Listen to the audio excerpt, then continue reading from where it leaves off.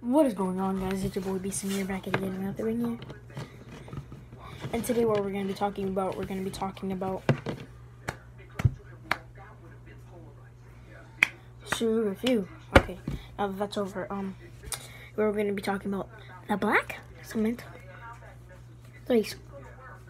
So yeah, um, the black cement threes are their 2018 release. Um, just came out. They're some super hot fire.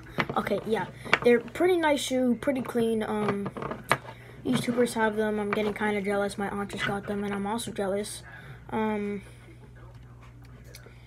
yeah, um, I'll try to like edit in a picture somewhere or something.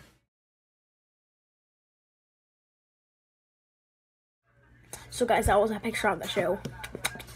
Okay, yeah, so that was a picture of the shoe, and, um, yeah.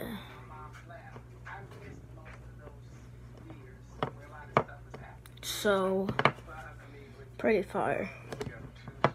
But there's also another pair of shoes. I'm not sure if they're old or new.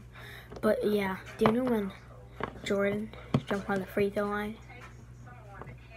Yeah, um, when Jordan jumped from the free throw line, they made a shoe that has the red line. Like, I think it's, yeah, it's on, it's on the sole of the shoe. And, um, yeah, it's like a gum bottom. But then, like, I'll show you a picture.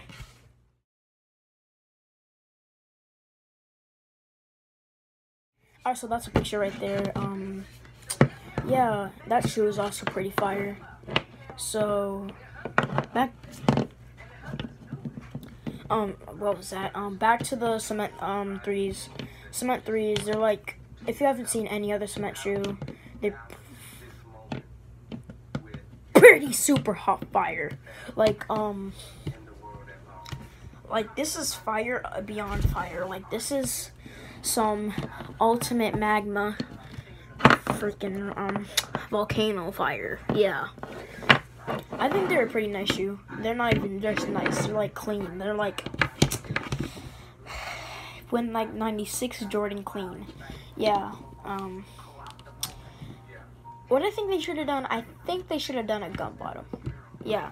They don't do a lot of gum bottoms with threes, twos, and ones. But I don't I don't even think there is a gum bottom for Jordan 1. But um yeah. Today was a very refreshing day because I ruined my Jordan 2s. Now I need to repaint them because that's how bad they are. Um so yeah.